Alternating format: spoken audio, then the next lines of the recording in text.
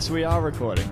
So, what could you possibly have to offer on sex education for mentally challenged people? Okay, I should probably start. My name is Andrew. Hi, Andrew. This Um, is Morgan, the guy going, hey! no, this is Morgan. That's Andrew. Do an impression of you. Oh, yeah. Right, so. this is uh, Eat that was a, a, a prelude, an audio prelude to uh, what I'm talking about. Don't Okay. Can, fire me. All right, so um, anyway, I, I know. I want to talk about sex education.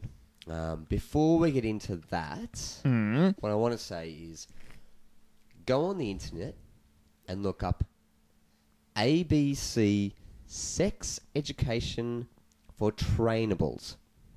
It was in back in the 1950s. I've- Okay. I, ca- I've looked at this the other night. Mm. Um, about, I don't know, about two nights ago. It's a sex education video done Yeah. in the 50s, which is basically it's for people with mental handicaps and physical handicaps. But this Right. documentary focuses more on, well, not really documentary, educational video. It focuses more on people with mental disabilities. Yes. So I'm not passing judgment. I'm All not right, taking no, the no, piss. no, I just want to know where you're going with it. But, so, I, but, uh, I, I just think it's when I saw that I thought, Jesus Christ, because it's so stagnant in the way that it talks about sexuality, and Yeah. it's so sort of um, obviously like there's a Christian sort of thing behind. It. Yeah, but it. like if you're looking at the 1950s, that probably covers, you know, um, their Yeah. attitude to Quite a lot um, of things. able-bodied people as well. true, but this one was a lot more um, just ah, just treating them like second-class citizens in a way that you. I found it funny. Not so much the reactions from the mentally handicapped people, but just the way that the people would talk to them. Anyway, what I wanted to mainly focus on is sex education in general. Okay. Yeah. So that's what I want to talk about. Okay. Yeah. Well, shoot. We're, we're, Okay, we're- so okay, here's a question for you. When you were a child growing up, where did you get your sex education from? I think I found it in a like bluntly um, a magazine behind a rock on top of Mount Canobolas. Like, and that Really? is that is probably the first How old were you when, when this happened? actual, you know, like oh, this is you know, I was aware of the body, the human body, and the difference between male and female. But when it came to sexual um, Connection, all that. co- Yeah. uh, coherency. That's not the right word, but anyway, yeah. When it came to um, some sort of penetration, anyway, it wasn't until I saw this magazine. It was just like, oh my god! I was probably about ten. right. Okay. Yeah. Well, there's other issues I'm concerned about. You being What, on other issues Canobolas this by particular- yourself, looking behind a rock. Oh, it wasn't. It wasn't just me. It was me and my best friend at the time and his sister. So it was a bit weird. Right. Okay. Yeah. But so that was your first. So you're just growing up as a kid playing with Lego. You've got Transformer toys, and then bang, you're on a mountain, uh, looking under a rock, and you've got this. You've Yeah, got it- naked women with their bits flopping out. It's a little bit Hodawaski, yeah, but uh, okay. But that's an actual thing. Well, what about your actual education in the in how reproductive system, like the man gets a boner, it goes Actually- from flaccid to hard, and all that sort of stuff. Okay, actually being taught it from some sort of, um, you know, with some sort of, um, I guess, um, I don't know, motive. Yeah, I don't know, with, with, with like actually being taught it as opposed to being discovered it. Yeah. I don't think that actually came about until I was in. And bear in mind, I grew up in a strange, I'd like to call pseudoverse. It's not a real universe. It's like a place where people get taught magical things that don't exist. Um, Oh, I I got I from did you grow up with Narnia? What Yeah, are you uh, talking about? close enough. C.S. Lewis was you know hinting at it with the Narnia stories. Yeah. yep. Um, yeah, from year seven onwards, I was at a Christian school, which uh, basically ignored stuff like that Yep. until I was in about year nine, which Okay. equated to about 15, Yep. 15 16. And um, their sex ed was minimal at best. And all the stuff that I learned there, I'm putting up my fingers in, you know, quotation marks, but that doesn't quite work for radio. Your fingers in where? Sorry, Uh, Sorry. putting my fingers up in uh, Uh, all the orify. Is orify actually? Oh, a plural for orifice. Yeah. I'm pretty sure it's orifices. yeah, bit orifices. Orifices. Went to the work. Uh, you went to the work. I went to the work. Boss told me to check out all the orifices. oh, jeez. Um, uh, but getting on to the point, yeah, I was about 15 when it was actually taught to me properly. And when I say properly, like in in a, ah, I'm getting stuck on words again. When it got taught to me in an ordered form, as opposed to just discovering it for myself, yeah, it was when I was in year nine, say Yep. about 15, Christian school, and they sort of skimmed over it, but I never really got anything apart from the penis goes into the vagina, And then God makes the baby. and yeah, well, there was yeah, pretty much. Yeah. That's that's all it was. Yeah. Uh, you didn't hear anything uh, other than that, like anything, and there was a whole lot of stuff I had questions about, um, considering I'd discovered this magazine when I was ten, which was. Not so much penis in the vagina, but uh, you know, penis next to the other penis, possibly being rammed up the anus of that other thing. You know, so yeah, Yeah, it's funny. I, I think I had my sex education brought up basically by SBS as a child. Um, Yeah, but that wasn't so much you being taught about sex. That was you discovering sex through another medium. yeah, well, th- this is, yeah, well, this is with the start of my own education. Your sexual awakening. Well, yeah, well, I, I guess so. Yeah, yeah. when your Because- flower bloomed. Exactly. So yeah, there'd be that, and I'd I, I remember being a kid. and I go, "Oh, there's nudity in this film," and my parents were like, "No, you're too young." And I go, "Well, what what's so bad about this thing?" And then once that stigma was sort of created, it just got me more interested. Mm. So every movie there'd be boobies and blah blah blah, and I knew it was like a forbidden thing. And it got me really interested. Were they Why can't I know about this?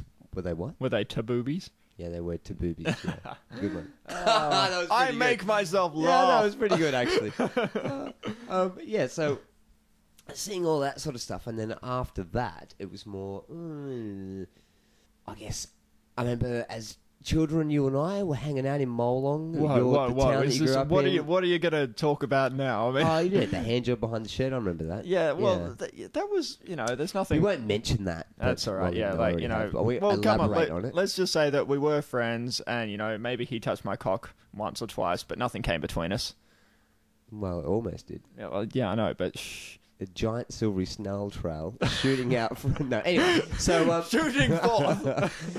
um, no, that never happened, by the way. Anyway, um, so he but likes I to think. we'd go on adventures in, around this country town in Molong, which you grew up in, and there'd be like cr- there'd be like a dry creek bed and cubby houses, and we'd find these magazines that people left behind, and I'm like, Yeah, there was no internet, so I was like, whoa, what is this? And we'd see boobies, and we'd see women with their legs spread, and all these sorts of things. right. Yeah, yeah. and yeah. so that was probably the start, but that was the start of my education in this stuff goes on. It's funny This that your world- sexual education was um, primarily delivered to you by a dried up ditch. I don't.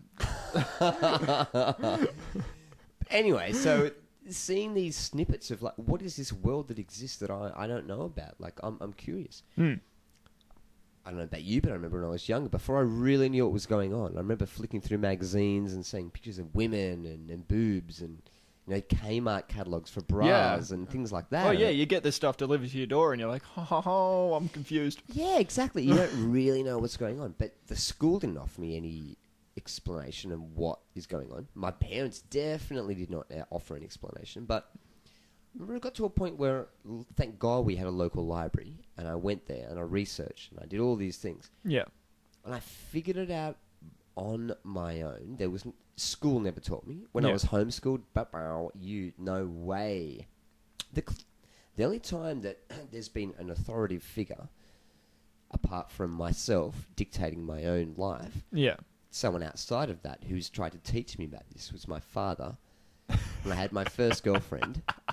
How did this was- go? I was 20, I think I was 20, almost 21 years old. Uh, Just, right? just like for those out there that don't actually know us, um, I might just throw out that both of us were kind of late bloomers when it came to the sexual awakening. Yeah, we Most very- people go through this shit at like 15, and that's you know I consider that a normal thing. But yeah, Yeah, we had a very sheltered life in a Christian tiny country town where think you don't talk about that, and we were denied the the actual. There was no internet to research. There was no porn. There was no nothing like. Well, there was the internet, you know, in about 1997, and that was at a whopping 28k per second.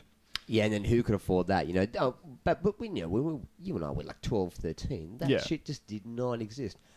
But I remember my father. The closest I've ever got to that was my father, who pulled me aside one day and Yeah. goes, "Look, son, you've been with this girl for a, a while now." Um, I said, "Yeah, yeah, yeah. I've been with her, been with her for a while." And he goes, "Look, uh, I don't want to get into what you, you you know you two get up to in your private time, but um, wear a condom." and then he ran out of the room, and that was it. He, he just assumed that I had figured it out by myself. If I had no idea, just to wear a condom, I'd just be like, "What? What, What does for?" that Like, mean? exactly, he just What- assumed. Yeah. But there was no actual, yeah, dedication or anything like that. Hmm. Anyway, that aside, Yeah. uh, Um. which links me to This to is the precursor to what you're actually talking about: sex education, especially for the mentally handicapped. we were uh, we were, uh, no, so like, on a seriously- society level we were handicapped so uh, we we were handicapped in certain in certain ways Oh, so you say so? Basically, your link is we theoretically, anyway, um, are on the same level as handicapped people. well not so much me but sometimes when I see you doing the shopping I don't really know like eh, no no what, what I'm saying is Yeah. you're, you're denied a certain you're denied a certain right or a certain knowledge, and um, you're treated like oh no no no don't even worry about it.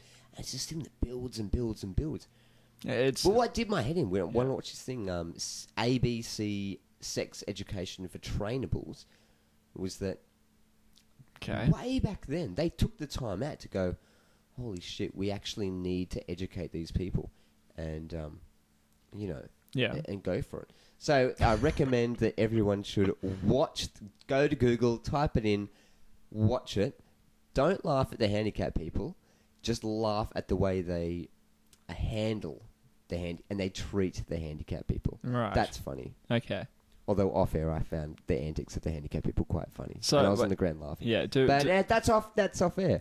do we actually have anything to add to the way that um, handicapped people should be trained about this sort of thing, or is this you just wanted to advertise? The I fact just that wanted this to is out there? advertise this thing that I This watched. is, this is, so we've spent That's all I 15 wanted to watch. minutes just building up no, to. No, no, no. but but the, the segue was sex education and how it happens and what age and, right, and how yeah, we yeah, all yeah. sort of deal with it. Yeah. But, correct. I, I just want people to watch this clip. yeah, that's what I thought. You little deviant, you.